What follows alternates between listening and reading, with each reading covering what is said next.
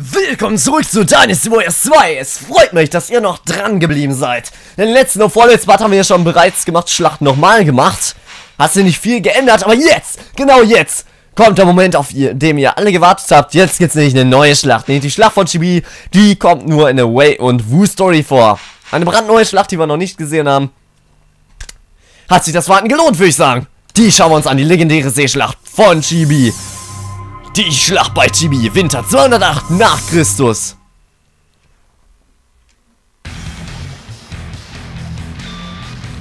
Wu wird sich meiner Macht unterwerfen müssen. Wenn ich einen Vorschlag machen dürfte. Meinst du das ernst?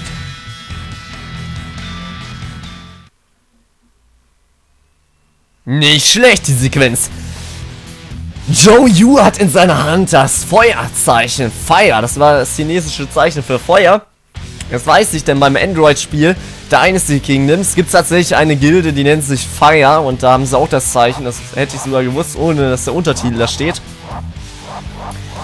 Ähm, was sollte das Ganze? Cao Cao ist natürlich sehr siegesbewusst, weil seine Armada einfach gigantisch ist. Also er ist absolut in der Übermacht. Wo wollt ihr eigentlich schon aufgeben? Ne, ähm, Sung Quan hat eigentlich schon zu Cao gesagt, ja, okay, ich ergebe mich dem Wei-Truppen, ich kann nicht gegen euch gewinnen. Dann kam Zhuge Liang. Liu Bei hat erfolgreich die Flucht vor Cao geschafft. Er kam wirklich zu Sun Quan und Zhuge Liang suchte sofort den Kontakt zu Zhou Yu. Er wollte unbedingt ein Bündnis mit Sun Quan gegen Wei machen, aber Quan war wie gesagt schon desillusioniert und wollte eigentlich schon aufgeben. Zhou Yu hat Zhuge nicht wirklich getraut, doch der Unterstratege Lu Su, das war im Prinzip Zhou Yus Gelehrter, der hat das auf jeden Fall äh, bevorzugt, also dieses Bündnis mit Zhuge Liang und wollte auf jeden Fall den Schultruppen noch eine Chance geben. Er sah es genauso wie Zhuge Liang, dass die Lage noch nicht verloren ist. Ist auch so, tatsächlich trotz dieser gigantischen Armada schlagen können. Und letzten Endes konnten Lu Su und Zhuge Liang auch die anderen überzeugen und das Bündnis kam zustande. Und was sich hier abgespielt hat, war wirklich legendär. Da werde ich wahrscheinlich... Ja, da werde ich auf jeden Fall in der Schlacht nochmal drauf eingehen. Doch jetzt möchte ich erstmal gucken, was sie sich für ein Bullshit hier ausgedacht haben. Die Allianz hat den ehrgeizigen Dong Shuo zerstört. Die Han-Dynastie muss jedoch machtlos zusehen, wie einzelne Fürsten von Eroberungen und Macht träumen. Okay, ist richtig. Der wichtigste dieser Adligen ist Cao Cao. Er hält den Kaiser in seinem Bann, besiegt Huan Shao und gewinnt dadurch Kontrolle über den größten Teil Nordchinas. Genau, das habe ich dir schon mal erzählt. In Part 2, glaube ich, Li Jue hat ja irgendwie nach Dong Zhuos Tod den Kaiser zu sich gezogen und äh, entführt und Cao hat ihn gerettet und auf Rat von Xun Yu nach Xu Cheng zur Hauptstadt von Wei gebracht und seitdem war der Kaiser immer in Caos Gewalt. Im Jahr 208 beginnt Cao Cao seinen Südfeldzug. Er erobert Jing ohne Probleme und zieht dann weiter gegen Yang, das Land unter Sun Quan. Ja, Jing Province, da war unter anderem auch Liu Biao, der hat er dann zum, ja, zur Kapitulation gebracht. Liu Zong, beziehungsweise halt sein Sohn, ne, hat kapituliert. Und so konnte Cao natürlich sein Territorium noch erweitern. Und auch ähm, Unteroffiziere von Liu Biao haben sich da auch noch Cao angeschlossen, ne? wie Tsai Mao oder Wen Quinn. Ne, Wen Pin. Wen Pin heißt er. Wen Pin. Genau. Sun verlässt sich auf seine Marine-Elite-Truppen, um die Invasion zurückzuweisen. Seine Truppen befinden sich jedoch scheinbar hoffnungslos in der Unterzahl. Genau, eins muss man zur Verteidigung sagen. Das sind die Gewässer von Chibi. Die Wu-Truppen kennen sich aus. Die Wu-Truppen haben Wassererfahrung. Und Wei halt nicht, weil sie aus dem Norden kommen. Befehlshaber der Verteidiger. Sieg oder Tod. Der Kampf um Wu beginnt. Genau. Ja, okay, ist eigentlich nicht falsch. Diesmal ganz gut zusammengefasst. Finde ich schön. Gefällt mir. Ja, okay. Bedingung für den Sieg natürlich die Niederlage Cao Caos. Und wer da vor uns sich sterben? Ganz klar der Anführer dieser Allianz, Sun Quan. Der jüngste Sohn von Sun Jian, der jetzt schon zu diesem Zeitpunkt verstorben ist. Aber auch Sun Quans Bruder Sun Tse ist schon verstorben. Okay, hier mal Sun Quan, Zhou Yu bin ich. Ich habe nur Zu Huan als Unteroffizier, okay. Tai Shi macht da unten rum. Ist interessant, weil ich glaube, in Dice Wars 3 macht Tai Shi dann im, ähm, im Osten rum. Also genau in eine andere Richtung. Lu Meng ist dabei, Gan Ning ist dabei. Sheng Pu. Huang Gai. Ja, Huang Gai, der macht hier einen Feuerangriff. Handang, Zhou Tai. Okay. Schlachtanalyse bei den Gegnern. Cao Cao, Shao Dun, Dian Wei, Xu Xu, Shao Yuan, Zheng Liao mit Yujin, ey. Cao Ren, Cao Hong Li Din. Zhang He, Xu Wang. Aber Xu Wang ist ja noch nicht spielbar. Okay, ziemlich starke Offiziere, ziemlich große Übermacht. So ist es. Da müssen wir durch. Und jetzt geht's auch los. Zur Schlacht von Chibi kann ich euch gleich noch ein bisschen informieren. Schmeiß, habe ich eigentlich schon gesagt, wie die zustande gekommen ist, was sich da nur abgespielt hat und wieso diese Schlacht so legendär ist. Dazu komme ich gleich zu sprechen. Jansha-Bezirk. Chibi. Oh, was ist denn das für Zeichen? Kann einer Chinesisch? Da kommen die Flotten von Cao Cao. Und das Schlachtfeld baut sich praktisch jetzt gerade erst auf. Da ist es. Riesen Armee von Cao. Mega krass. Jetzt überlege ich, wo fange ich da an? Ich Taishi? Ja, ich helfe, glaube ich, Taishi C zuerst. Ja. Okay, ähm. Schlacht von Chibi. Wir müssen bis dann warten, genau. Das, das ist eigentlich schon richtig, was er sagt. Was meint er damit, wir müssen warten? Zhuge Liang, der einzige von Shu, der uns hier wirklich unterstützt, der versucht, den Wind umzukehren, ne? Also er möchte den Nordostwind heraufbeschwören. Das, das wäre in dem Fall vom Vorteil, weil der dann gegen die gegnerische Armada spielt, sag ich mal.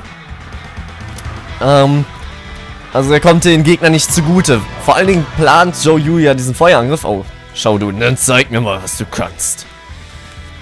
Joe Yu plant ja einen Feuerangriff und die haben sich das so gedacht, dass Huan Gai ein Strohboot losschickt. Also mit, wo er auch drauf ist, logischerweise. Das steckt er dann im letzten Moment an. Und das Strohboot, ja, dockt dann praktisch an die gegnerische Armada und setzt die gesamte Armada in Flammen. Wenn der Nordostwind da ist. Denn durch den Wind verbreitet sich das Feuer dann im Nu. Ähm, wie kann es dann trotzdem von Schiff zu Schiff gehen? Das Feuer, fragt ihr euch bestimmt. Tja, Pangtong, ein Strategie von Shu, hat vorher sich den Wei-Truppen ergeben, hat er zumindest gesagt. Und naja, da hat er zu den Wei-Truppen gesagt, ja, wir müssen die Boote alle aneinander ketten, dann äh, halten die besser zusammen und dann verlieren wir uns alle nicht. Und Cao hatten das erstmal geglaubt, ne? Konnte man ja jetzt auch nicht äh, direkt irgendwie eine Intrige oder so feststellen. Boah, der macht viel Schaden. Aber der eigentliche Sinn war dahinter, dass Plankton dann wieder zu äh, uns überläuft, also zur Allianz. Ich habe mir dein Gesicht gemerkt. Und, naja, durch das Anketten kann sich halt das Feuer dann auch von Boot zu Boot verbreiten. Das ist der Sinn dahinter. Also er ist eigentlich nur gegen Cao eingesetzt. Das Feuer. Damit das Feuer dann noch schneller sich ausbreiten kann. Das war die Kettenstrategie von Pangtong. Das findet man wirklich in der Geschichte als Kettenstrategie. Ansonsten, wie gesagt, der Feuerangriff geplant von Zhou Yu, ausgeführt von Huang Gai. Mehr gibt es dazu nicht zu sagen. Zhou ähm, bereitet jetzt diesen Nordostwind vor am Altar und möchte jetzt diesen Wind umkehren. Das ist ziemlich krass, oder? Das hat Zhou Yu auch nach Schlacht äh, äh, zu Lu Su noch gesagt. Wer ist dieser Mann, wenn er den Wind beherrschen kann? Das ist wirklich heftig. Da sieht man mal, was das für ein großartiger Magier ist. Er verfügt über übernatürliche Kräfte, wenn er den Wind einfach mal ändern kann. Und das ist wirklich krass. So eine übernatürliche Macht auf seiner Seite zu haben. Ohne Zhuge Liang, ohne Huan Gai und ohne die Pläne von Zhou Yu, die im Vorhinein gemacht wurden, hätten die Allian Alliierten das nicht schaffen können. Lasst die Jagd beginnen! Also es war wirklich eine grandiose Strategie, die man auch auf jeden Fall jetzt hier brauchte. Ansonsten wäre das sowas von in die Hose gegangen. Und apropos in die Hose gehen, es könnte auch in die Hose gehen, dass ich hier so weit alleine rausgehe. Aber ganz im Ernst, ich muss die schnell besiegen, damit die Moral von unseren Verbündeten nicht sofort im Keller sinkt. Damit hier ein schnelles Vorankommen gewährleistet wird, weil ich möchte ja auch noch im Osten helfen. Da möchte ich auch erstmal bleiben, aber jetzt möchte ich erstmal den Westen hier unterstützen und dann werde ich mich wirklich nur auf den Osten erstmal fokussieren. Angriff plus 30. Äh, Angriff verdoppelt für 30 Sekunden, so. Oh, oh, oh. Nicht gerade einfach wieder. Die Schlacht von Chili. Seht ihr schon, wie viel Schaden er macht? Lass meinen Leibwächter in Ruhe. Du mengst Truppenmoral sinkt. Sehr gefährlich. Weil ich halt nicht helfe. Ja, fürs Joyu. Das soll nicht so weit vorangehen. Klar. Ich weiß, wie weit ich vorangehen kann. Du nah. So, Angriff nach oben bringt eh nichts mehr. Angriff aufs Maximum. So, jetzt ist die Frage. Um Xusu werde ich mich wahrscheinlich nicht kümmern, oder? Soll ich da hingehen? Ich guck mal kurz bei Feinde. Ah, ne, ist Way. Hm, dann werde ich Way wahrscheinlich doch gerade in eine Pfanne hauen. Mache ich das gerade. Natürlich echt nicht gerade ohne jetzt. Ich ziemlich geschwächt bin. Zhang He, wo, wo ist denn Zhang He? Jetzt mal ganz im Ernst. Komm, die Pfeile nehme ich noch mit. Alter! Was ist das? Übler Scheiß! Was geht hier ab? Da ist, da ist ein Moose-Support. Beziehungsweise so ein Wein. Oh, holy shit. Da seht ihr das, was passiert, wenn man alleine voranprescht. So gefährlich in allen DWs. Bis sofort in den roten Energiebereich. Natürlich, wenn man nicht auf leicht spielt, ne? Nur. Wer ist dieser Nerd, der mich herausfordert? Das wäre dann wohl ich. Hallo, hallo, die Way. Bereit für ein kleines Kämpfchen? Ja, das ist ja schön. Ah, ein Speicherpunkt. Okay, nicht. Ich verzichte mal drauf. Ach, die am Way. Komm schon. Ah, schön, dass man wieder einen Speicher sieht, ne? Um Lauter habe ich keinen gefunden. Zwar nicht alle Kisten geöffnet, aber trotzdem. Dafür, dass man bei gelbem Tour war und irgendwie vier Speicherpunkte oder so hat. Klar ist die Schlacht auch groß, aber diese Schlacht ist jetzt auch nicht gerade klein, oder? Ach, die am Way. Mann. Du nervst. Auch wenn ich dich in Dynasty Wars 1 gerne spiele, nehme ich jetzt keine Rücksicht auf dich. Ich darf doch nicht sterben. Aber was ist gerade passiert, mein Freund? Und ich, der droppt auch nur Angriff, ne? Ja, Angriff nach oben plus 4. Also Angriff kriegt man echt schneller hoch als die Verteidigung. Denn Verteidigung droppen wirklich nur so Strategen wie hier zu oder so. Oder halt diese ganzen Torwarten. Und das ist dann immer nur plus 1 oder plus 2. Mein Tor war plus 1 und bei diesen Strategen plus 2. Also echt nicht so einfach, die Verteidigung hochzumachen. Der Eingriff ist ja schon lange aufs Maximum. Ich glaube, seit Nulauto, also seit dem letzten Part. Ja, das, das nenne ich schon lange. Naja, egal. Zheng Liao, ich glaube, der hat den Offizier Yujin unter sich. Werde ich hier erstmal alles inspizieren. Genau unter Lupe nehmen. Und ah, mit den Verbündeten jetzt hier aufschließen, ganz ehrlich. Es ist eine Zeit, mal hier diesen Ego-Trip zu beenden, ganz ernst. Äh, hätte ich echt auch mit auf die Nase fallen können. Der rote Energiebereich war schon da. Ein paar Kombos vor den Gegner und ich wäre down gewesen. Konnte mich da noch rausretten, indem ich die Musu benutzt habe. Ansonsten wäre ich echt ruckzuck tot gewesen. Ich konnte mich auch gar nicht mehr bewegen. Weil der Druck von den außenstehenden Offizieren, hey, Offizieren sind es ja nicht, Truppen schon da war. Also je öfter man von einzelnen Typis angegriffen wird, desto schlechter kann man sich auch wieder daraus bewegen. Und das war halt der Fall. Konnte ich nur mit Musu äh, entkommen und ansonsten wäre ich gestorben. Und durch den Musu konnte ich halt so einen mega Major besiegen. Und der hat dann halt Leben gedroppt. Beziehungsweise Musu-Pot, der alles wieder auffüllt. Musu-Wein heißt der, glaube ich. Und ja, wie gesagt, das hat mir den Arsch gerettet. War echt gewagt. Aber so bleibt das Let's Play dann ja auch spannend, wenn ich mal solche wagemütigen Manöver mache. Ich würde sagen, wir sehen Zheng Liao. Und dann helfe ich mal Ganing ein bisschen noch aus. Komm, ich mache jetzt noch so ein krasses Manöver. Aber bei Ganing bleibe ich da auch wirklich und helfe denen ein bisschen an der Front. Erstmal die Bogenassis besiegen hier. Ihr wisst ja, wie gefährlich die Bogenschützen in den alten DWs sind. Boah, wie viele hier vor allem platziert sind. Nicht mal witzig hier. Übel. So, sind noch welche von dir away? Die seinen Herrn und Meister rächen wollen, oder was? Ich werde gegen dich kämpfen. Na, dann komm mal her, Zheng Liao. Du bist da hinten und machst schon so eine Zwischensequenz oder was? Für wen hast du es gemacht? Ich konnte dich da hinten nicht sehen. Ernsthaft. Als ob der mich auch sehen konnte von da hinten. Er hat meine Anwesenheit, meine Aura, mein Ski hat er gespürt. Oh shit. Aber ich konnte mit meinem Musu und jetzt habe ich die direkt, weil es bei 1 vs 2 noch so war. Da entstand keine Pattsituation, wenn Musu Musu trifft. Ziemlich strange, aber so war das damals noch. Haben wir schon verbessert. Der Pattsituation, finde ich. Aber nun, boah, hier ist aber wieder mega viel los, ey. Guckt euch das an. Nur diese Ritter. Das Majore oder Leibwächter oder was es auch mal sind. Viel zu viel davon auf jeden Fall. Fällt mir nicht. Ja, er wieder Leben voll. Alles wieder hergestellt. Ach, komm schon, ey. Ah, jetzt. Zack, zack, zack und die. Ich darf noch nicht sterben. Und tschüss. Ja, ein Schwert brauche ich nicht mitnehmen, wie gesagt. Ach, ich kacke jetzt drauf. Ich möchte jetzt Gunning helfen. So sieht's aus. Gehe ich wieder zurück hier. Muss ich leider einen kleinen Umweg nehmen über unsere verbündeten Schiffe. Wie sich das anhört. Verbündete Schiffe.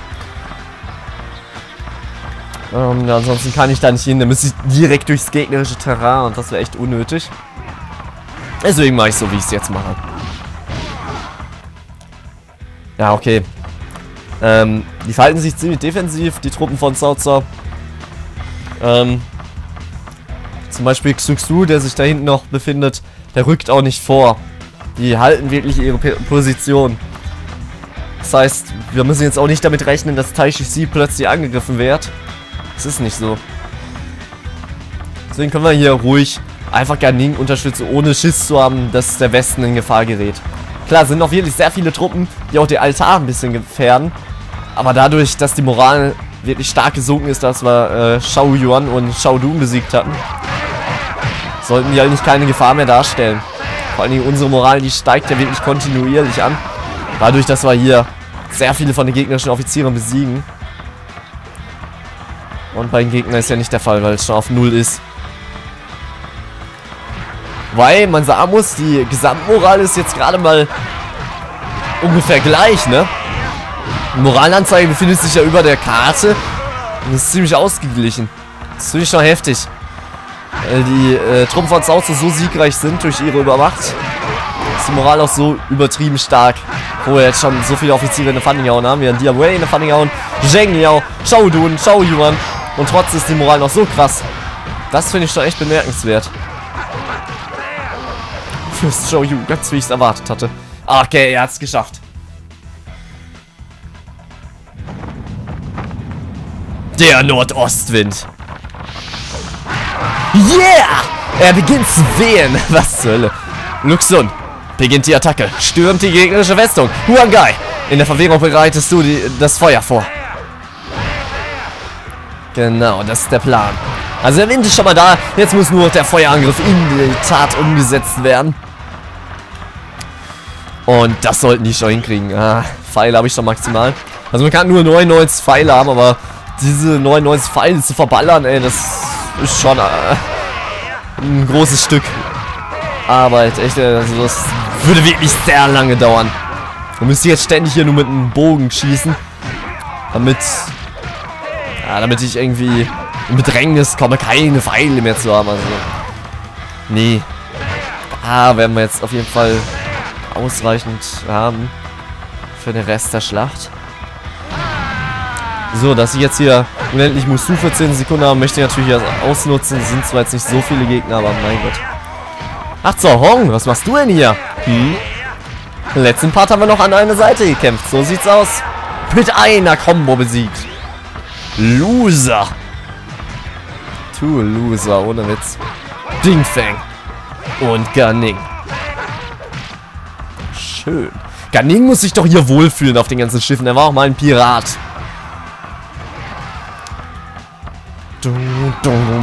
Ja, auch mal ein Offizier von Libiao, aber der hat sich tatsächlich mit...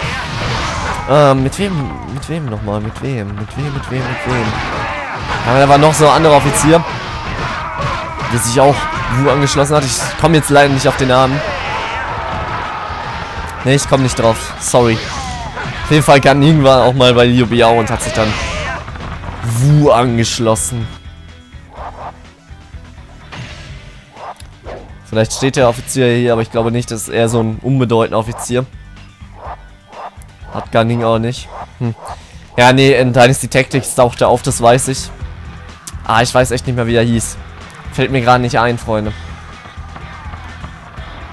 Nee, fällt mir nicht ein. Wenn ich jetzt weiter drüber nachdenke, in... Nee. Leider nicht. Schade. Na gut, gibt's hier noch irgendwelche Torwächter? Nö. Wir haben, das alle, wir haben alle schon unsere Pflicht erfüllt. Helfen wir noch den Verbündeten ein bisschen, dann können sie Zau von hinten auseinandernehmen. Dann ist er wirklich in der Patsche drin. Wird er richtig umzingelt und in den Fang genommen. Das bei Dynasty Tactics ein Zangenangriff. Und jetzt richtig in sich. Also die Technik. Oh nein, hier gibt es ja auch viele Speicherpunkte. Nur beim Ulautor nicht, das kann es doch nicht sein. Ich wette, ich habe den nur nicht gefunden. So muss es doch sein. Ja, die Musik, die Musik, die Musik. Ich glaube, das ist tatsächlich die Musik. Ja, doch, das ist die Musik von äh, Wu-Truppen. Aus Dynasty Warriors 3 Chibi. Weil die ähm, Soundtracks in Dynasty Warriors 2 gibt es ja auch immer wieder in Dynasty Warriors 3. Doch nur auf eine Seite dann. Das ist die tatsächlich von Wu-Truppen. Wo kommen die denn jetzt alle weg? Und ganz im Ernst, da oben ist kein Tor, aber jetzt kommen trotzdem noch so viele Gegner hier. Das gibt's doch nicht. Das verstehe ich nicht ganz. Machen die denn hier alle? Ich glaube, das sind noch Bogenassis. Nee, doch nicht. Ja, ich hab schon hier Halluzinationen. Wenn ich schon dran denke, kriege ich Angst, ne? Ich sehe schon überall Bogenschützen. Ganz im Ernst. Ich gehöre doch in die Anstalt. Na, na, na, na, na, na, na. Ja, los, Feuerangriff, ich warte. Ganz im Ernst. Woran hapert's? Huan Gai. Ah, der hat aber gleich sein Ziel erreicht. Ja. Wir haben eigentlich alles erfüllt. Let's go. Es passiert nichts, kein Feuerangriff. Naja. Komisch, komisch, ohne Witz. Den Feuerangriff zu vermeiden ist auf der Seite der Way-Truppen übrigens sehr, sehr einfach. Das kann ich auf jeden Fall schon mal sagen. Man muss nur Huagai und Joe Yu besiegen. Oder Liang, dann geht der Feuerangriff schon nicht mehr. So leicht ist das hier. Richtig witzig. Zhou Tai hat eine Schlacht gegen Cao begonnen. Ja, toll. Ich hätte die Boote aber lieber im Band gesehen. Liegt es vielleicht daran, weil wir Joe Yu spielen und weil er auch eine gewisse Rolle im Feuerangriff spielt? Das nicht funktioniert? Hm, komisch. Finde ich ein bisschen schade. Ich euch gern gezeigt, wie die Boote brennen. Oh, Shu Wang! Hä? Wo ist denn ein weißes Kopftuch und eine helle Bade? Das ist ja ein richtiger Lappen hier. Trotzdem macht er mir Schaden. Ja, komm, ich kann eh nicht besiegen. Jetzt tschüss. Heilt sie eh wieder vollständig. Ne, doch nicht. Wow. Er gibt sich Mühe. Das muss man ihm lassen. Aber es hat nicht gereicht. Knie. so, Shu Huang ist besiegt. Da sind noch ein paar Tore. Na gut, ich denke, ich gehe erstmal wieder auf ähm, den Schiffen hier und räume es hier auf. Ah, doch! Vorbereitung abgeschlossen. Die Feuer werden angesteckt. Die Feuer werden angesteckt? Hm, komisch. Feuer frei! Burn, burn, kill it with fire! Meine Flotte.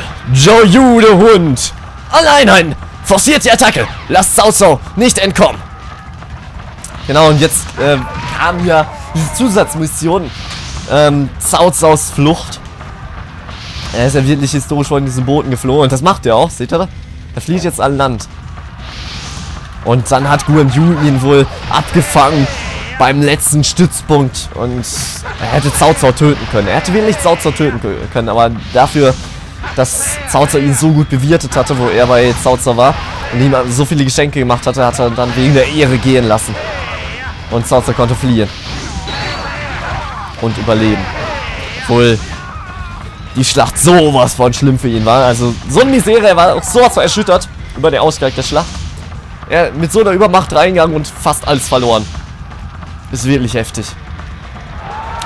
Jetzt bin ich ein bisschen fasziniert ist, dass Sun Quan gar nicht nach vorne geht. Der chillt einfach und macht nichts. Normalerweise ist es ja wirklich so, dass diese Verbündeten immer nach vorne gehen in den alten DWs, aber Sun Quan, der chillt. Der macht überhaupt nichts. Nur Befehle geben, das kann er gut. Der eben gesehen. Ja, Huan Gai macht das und das. Zhou Yu macht das und das. Zhuge Liang macht das. Ja, hm. Strange. Na egal. Wir haben ein paar Unteroffiziere von Cao Cao Cao Zhang. Und Sun Yu hatten wir schon. Ich glaube, der hat noch einen. Nicht diesen anderen Sun Yu. Müsste eigentlich. Schauen wir mal kurz an. Nee, nicht bei Verbündete. Nee, Cheng Yu. Okay. Wo ist eigentlich Zhuge Liang? Der ist geflohen, glaube ich, ne? Ja, das ist ein bisschen blöd gemacht. Wenn er den Nordwestwind, Nordostwind, sorry, beschworen hat, dann flieht er. Ich möchte noch dieses Schiff erkunden, weil vielleicht befindet sich hier auf dem Schiff auch noch Cheng Yu. Ich möchte natürlich auch noch killen, weil es auch ebenfalls ein Stratege ist und somit sollte der ein Schild droppen. Das erhöht unsere Abwehr und das können wir wirklich gebrauchen. Ist immer eine gute Sache. Ach, ihr Scheißkerle. Oh, wieso sind das immer so viele?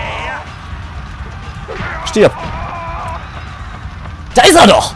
Stehen geblieben. Hier spricht die Polizei. Hier spricht Joe Yu. So, mein Freund. Du musst aber nicht sehr viel leben. Boah, wie die Moral gesungen ist. Das ist unfassbar. Seht das Zaus Moral. Der hatte irgendwie noch drei oder vier Sterne und jetzt null. Feuerangriff sei Dank. Das ist echt geil. Jetzt die blutroten Flammen. Hier auf See, es sieht so geil aus. Und der Himmel. Die Wolken. Die Engelbacken Plätzchen. Oh, so, ja. Dies ist deine letzte Chance. Weg mit dir. Jetzt haben sie es auch in der Zwischensequenz angepasst. Finde ich eigentlich ziemlich gut gemacht. Äh, wenn das Feuer ausgebrochen ist, haben sie Zwischensequenzen auch ans Feuer schon angepasst. Das finde ich echt gut. Kann man nicht meckern. Haben sie nicht geschlafen, haben sie wirklich dran gedacht, oh, oh, oh, oh, wo sind die Bastarde? Wo sind die Bogenbastarde? Zhang He haben wir hier auch noch, natürlich noch nicht spielbar. Nach der Schlacht von Guandu hat er sich Caos Truppen angeschlossen und kämpft jetzt hier auch gegen uns. War ja ein Offizier von Yuan Shao. Auch im letzten Part hat er ja noch für Yuan Shao gekämpft, beim Mulao-Tor. Der gute Zhang He. Aber schön ist, hier ist er noch nicht so gay. Und so bekloppt. Wie in der heutigen DWs, ganz im Ernst. Zhang He ist auch eine, die größte Witzfigur überhaupt. Von Dynasty Warriors. Aber jetzt, hier ist er noch cool. Ich mag ihn. Dynasty 3 und 4 geht er auch noch, aber 5 wurde schon ein bisschen komisch. 6 ging er schon gar nicht mehr. Und, ja. Ähm, vor heutigen DWs müssen wir gar nicht mehr reden, ne? Hier ist aber echt viel los. Und wir sind forever alone. Ich weiß nicht, wo die Verbündeten rumdümpeln. Die sind noch auf Schiffe, glaube ich. Denen macht das Feuer nichts aus. Die Wutruppen, die sind ja für ihre Feuerangriffe bekannt. Deswegen, die haben sich wahrscheinlich schon an der Hitze gewöhnt. Schon irgendwie eine Speckschicht, Hitze beständig. Und zu Quan chillt da unten immer noch. Steht zwar Moral ist Himmel hoch von ihm, aber er chillt immer noch da unten. Bewegt seinen Arsch nicht weiter. Und setzt dann mal jetzt langsam in Bewegung. Nö, hat er nicht nötig. Was ein schlechter Feldherr. Das macht immer einen guten Eindruck, wenn die Feldherren mit ihren Untergebenen an der Front kämpfen. Das hat Caesar auch diesen guten Ruf damals beim Volk eingebracht. Du hast Glück, dass ich äh, einen schlechten Tag erwischt habe oder so. Ich habe es jetzt nicht richtig gelesen. Also Gaius Julius Caesar hat ja auch mal mit den römischen Soldaten an der Front gekämpft und die römischen Soldaten haben das halt abgefeiert. Dass ihr Boss nicht einfach nur Befehle gegeben hat, sondern dass er auch wirklich da mitgekämpft hat. Ist auch wirklich, glaube ich, sehr ermutigend. Und das Gegenteil macht halt jetzt zum Quan. Äh, was sehr wichtig ist, ist die Tore noch zu sichern, denn die gehen immer einen Abwehrboost, wie schon öfters mal erwähnt in diesem Let's Play. Und ja, der ist eigentlich unverzichtbar. Boah, fuck. Bogenassis. Oh, nose! Ja, was ist das? Verstärkung für die Way-Truppen. Damn it! Vater, überlass es mir, du musst entkommen. Es gibt keine andere Wahl. Pass auf dich auf, mein Sohn. Zauzos Einheit zieht sich zurück. Hör zu! Zauzer darf nicht entkommen. Jetzt geht halt diese Chose los mit Zauzos Flucht, ne? Jetzt möchte ich aber mal kurz gucken. Das ist mir noch nie passiert, dass er geflohen ist. Steht jetzt tatsächlich eine Niederlagebedingung? Nee. Hm. Komisch. Naja. Da Zauze sich sowieso im Kampf befindet mit irgendeinem Offizier von Wu, glaube ich. Nee, doch nicht. Ah, mit irgendwelchen normalen Truppen, glaube ich, und dann flieht er jetzt auch nicht direkt. Ist hier oben noch ein Tor? Nee, das hat schon wer anders, glaube ich, gesichert. Da waren noch mal zwei Tore, oder? Habe ich so viele Halluzinationen? Na, egal. Wir sehen auf jeden Fall noch Zaup hier. Ich weiß nicht, ob der auch noch irgendwelche Unteroffiziere hat. Ja, tatsächlich. Jiexu. Jiexu sollte man auch noch besiegen. Denn äh, der wird auch nochmal Verteidigung droppen und die sollte man, wie gesagt, auf jeden Fall mitnehmen. Weil man nie so viele Schilde findet. Den Trupp von Zaupi. Zaupis Moral sinkt jetzt schon. Weil die Wait-Truppen einfach nicht mehr existieren. Sie sind einfach nicht mehr Existenz. So viele, wie jetzt hier schon besiegt haben. Diese große Armada. Das ist unfassbar. Der Plan war ein Vollерfolg. Und das war halt der Grund dafür, dass diese Schlacht so legendär geworden ist. In die Geschichte einging und so weiter und so fort. Da gibt es ja auch eine Verfilmung von The Red Cliff, nennt sich das. Einfach weil die Schlacht eine der legendärsten und genialsten Schlachten überhaupt ist. Vom Gameplay her muss ich sagen, bin ich noch nie so der Chibi-Fan gewesen. Natürlich die Idee. Und ja, was heißt die Idee? Das basiert hier wirklich auf die Geschichte. Ähm, was ich damit ausdrücken möchte ist, ist ja, dass diese Schlacht auf jeden Fall unverzichtbar ist. Sie ist einfach legendär. Der, der Plan hätte niemals mitgerechnet, dass es wirklich ein voller Erfolg wird und dass äh, Zauzau noch, überhaupt noch geschlagen werden könnte.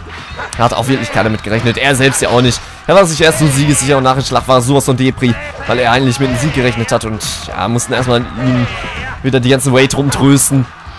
Dass er auch eher mal verlieren kann, weil er hatte ja bislang nur Erfolge wirklich gehabt, außer beim Warnschloss vielleicht, dass er die Wave verloren hat, seinen besten Leibwächter kann man sagen, oh yeah, Leben nach oben plus 10, das hat sich gelohnt. Das ist wirklich geil.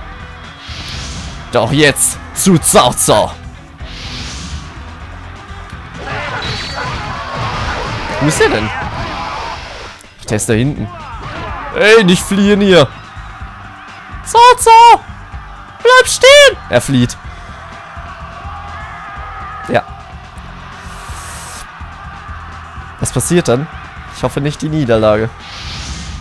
Okay. Ist geflohen. Zurück, zurück, hatte ich noch nie. Jetzt bin ich gespannt. Er ist entkommen. Zählt trotzdem als Sieg. Das wäre jetzt auch unfair gewesen, ganz im Ernst. Ja gut. Da der Boss eh nie was droppt, ist mir das egal, ob wir den besiegt haben oder nicht. Und da das eine extra Zwischensequenz gibt, finde ich das gut, dass er geflohen ist. Habe ich selbst noch nicht gesehen. Coole Sache ziemlich anspruchsvoll, die Schlacht. 244 Kills. Zuran, zweiter Platz, dritter Platz, Zuran. Zuran, der Meister des Feuerangriffs. Wobei, in dieser Schlacht war ja Hurengai der Meister des Feuerangriffs, muss man ja einfach mal so sagen. Im nächsten Part gibt es eine neue Schlacht, nämlich die Schlacht von Yefei. Zwischen Wei und Wu.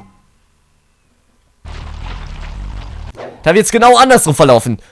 Wei, beziehungsweise Cao Zeus in der Unterzahl, und Wu ist sowas von eine Überzahl, aber trotzdem haben wir historisch gesehen die Wait-Truppen gewonnen. Hier wird es natürlich wieder anders verlaufen, weil wir hier den entscheidenden Einfluss auf die Schlacht nehmen können. Gut, Freunde, würde ich sagen, Daumen hoch, falls es gefallen hat. Falls nicht, könnt ihr das Video favorisieren. Ansonsten sehen wir uns beim nächsten Mal bei der Schlacht vor Yefei. Ich finde, die ist auch ganz gut gelungen hier. Und eins kann ich euch versichern, Zheng Liao wird hier eine richtige Challenge. Er wird genauso stark wie Lubu. Das kennt man aber. Gan Ning und Zheng Liao die sind bei Schlacht von Hefei einfach mal godlike. Die sind im Super Saiyajin-Modus und auf jeden Fall nicht zu unterschätzen. Müssen wir erstmal wieder ein bisschen den Skill auspacken, um den auf jeden Fall zu besiegen. Und den müssen wir besiegen, weil er erscheint direkt bei Sun Quan. Wenn wir nichts gegen ihn unternehmen, ist unser Boss Sun Quan direkt tot und dann ist sowieso verloren. Man muss ihn tatsächlich besiegen hier. Gut, Freunde, dann würde ich sagen, haut rein, bis zum nächsten Mal. Bis dann, ciao.